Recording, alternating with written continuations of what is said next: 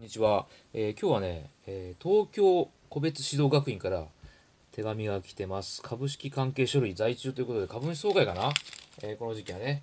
はい。え5月、あ、6月入ってますからね。はい。で、6月末がね、株主総会をね。はい。で、えっ、と、配当、あ、配当金か。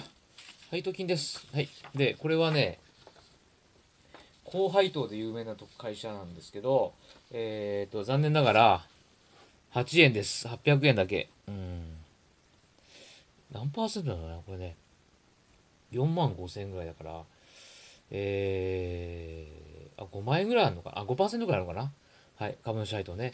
まあそこそこいいんですけど、あのー配当金はね、配当金のパーセンテージそこそこいいんですけど、まあ800円じゃね、持っててもしょうがないかなって気がします。はい。で、ただしね、えっ、と、こういうね、学習塾なんですよ。えーねはい、学習塾なんで、将来の日本のためにも、応援していかなきゃいけないなっていうのがちょっとあります。で、それで買ったんですけど、で、売り上げは、えー、まあ、ずっと同じですね。あの、子供の数なんでそう簡単には増えませんので、うん。で、学費を上げない限りは、利益は上がらない。売り上げが上がらない。ただね、営業利益。はい。ちょうどね、2019年、例の感染症が発生しまして、あの、売り上げが減りました。で、利益減りました。で、えーこれはね、そういった設備投資だよね。オンライン授業になってくるんで、えーそういったビデオ撮影とか、えーそれを配信するいろんなね、ソフトとか必要になってきますんで、開発がね。で、減って、で、コロナが明けましたと。で、また下がってきちゃったのね。なんか、なかなか難しいですよね。経営ってね。はい。